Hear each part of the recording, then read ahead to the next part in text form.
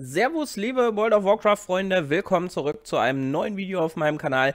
Mit Patch 10.1 kommt mal wieder eine neue Zone ins Spiel. Diesmal kann Blizzard diese aber nicht einfach so auf die World Map mit hinzukleistern, da sich diese Zone quasi unter den Dracheninseln befindet, spielt ja alles in einer Höhle. Dementsprechend wird aber natürlich trotzdem die World Map angepasst und das wollen wir uns in diesem kleinen Video jetzt mal anschauen. Ist keine spektakuläre Änderung.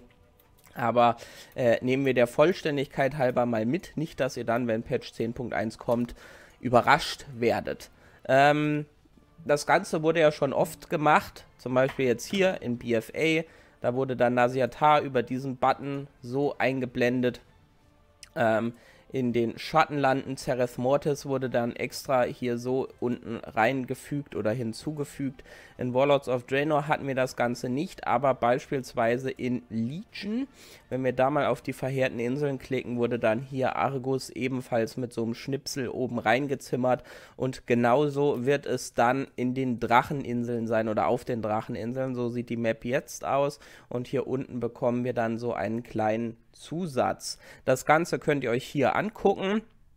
Ähm, Dracheninseln, Zarelek Cavern, zumindest vom Stil finde ich es ganz nett gemacht. Also man sieht, denke ich, recht eindeutig, dass das unter dem Rest liegt. Von daher würde ich sagen, schon mal ganz nett umgesetzt. Und der Eingang zu dem Gebiet, das haben wir ja schon mal in einem extra Video gemacht, befindet sich ungefähr hier an der Stelle, wo mein Mauszeiger jetzt ist. Auf der Schnittstelle zwischen den Ebenen von Onara und Tal Drasus. Da kommt ihr dann in diese Höhlen rein. Und das ist die letzten Endes Höhlenmap.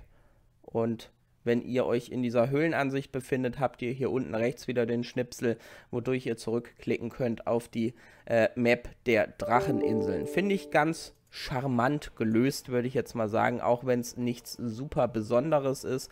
Aber zum Beispiel hier bei Argus konnte man jetzt nicht einfach also ich kann jetzt nicht hier hinten auf Azeroth klicken und man kommt wieder zurück, sondern ich müsste dann hier oben über die verheerten Inseln gehen. Ist jetzt nur ein kleiner, kleiner, wirklich kleiner Unterschied, aber ähm, ich wollte es nichtsdestotrotz mal erwähnt haben, da das was ist, was ich so ehrlich gesagt etwas schöner finde. Bei Nasiatar ging das tatsächlich, Zandala Kultiras. Also irgendwann später hat Blizzard das Ganze hinzugefügt, aber es war halt nicht immer so sagen wir es mal auf diese Art und Weise.